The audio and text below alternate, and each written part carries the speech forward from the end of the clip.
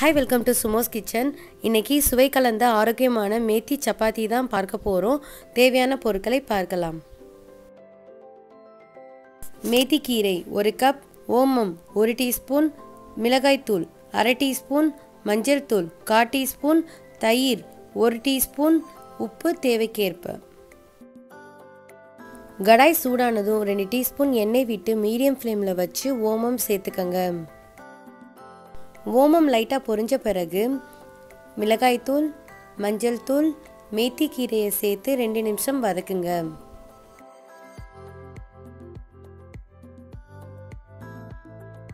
தேவையான அளவு உப்பு சேர்த்து அஞ்சுலேருந்து பத்து நிமிஷம் மீடியம் ஃப்ளேமில் கீரையை வேக வைங்க.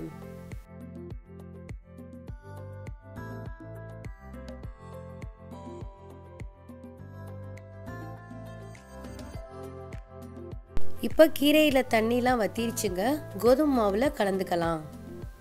பவுலில் இந்த கப்பில் மூணு கப் அளவு கோதுமை மாவு சேர்த்துக்கங்க. மூணு பூண்டை பொடியாக நறுக்கி கலந்துக்கங்க.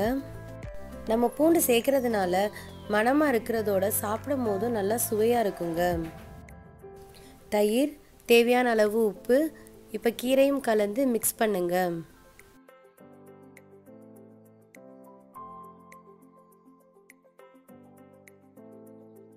கை கைசூடு தாங்குற அளவுக்கு சுடுதண்ணி சேர்த்து மாவை பிசைங்க.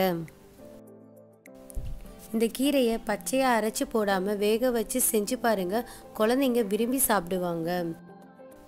இந்த வெந்தய கீரைக்கு காம்பினேஷனாக பன்னீர் கிரேவி தேங்காய் சட்னி தயிர் பால் கறி செய்யலாம்.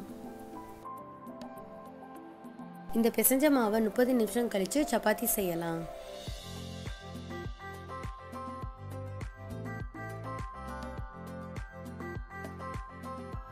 முப்பது நிமிஷம் ஆயிடுச்சு. மாவு நல்லா சாஃப்டாக இருக்குது பாருங்கள் எப்பயும் போல் சப்பாத்திக்கு தேய்க்கிற மாதிரியே தேய்ச்சி தோசைக்கல்ல போடுங்க. இப்போ சப்பாத்தி ஒரு பக்கமாக வெந்துருச்சு. திருப்பி போடலாம். சாதாரணமாக சப்பாத்தியோட இந்த மேத்தி சப்பாத்தி சாஃப்டாகவும் நல்லா டேஸ்டாகவும் இருக்கும். இதை கண்டிப்பாக செஞ்சு பாருங்கள்